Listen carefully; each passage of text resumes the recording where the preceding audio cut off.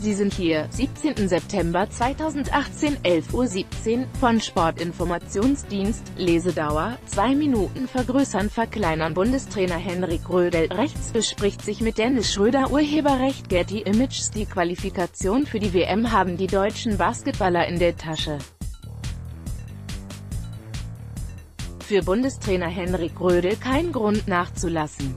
Nach der erfolgreichen Qualifikation für die Basketball-WM in China 31. August bis 15. September 2019 hofft Bundestrainer Henrik Rödel auf weitere Siege.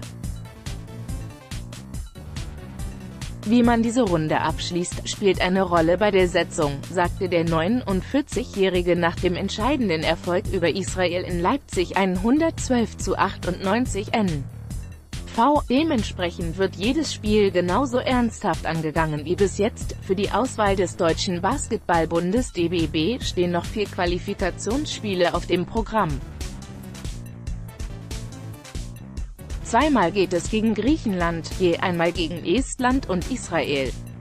Voraussichtlich werden die NBA-Profis dann fehlen, weil ihre Saison läuft.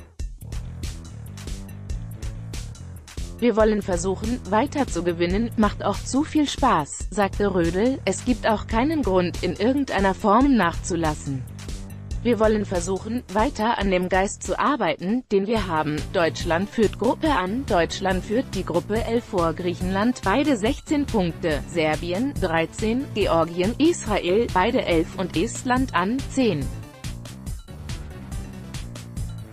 Auch die Griechen haben ihren Platz für China sicher. Tschechien, Gruppe K, hat es ebenfalls bereits geschafft.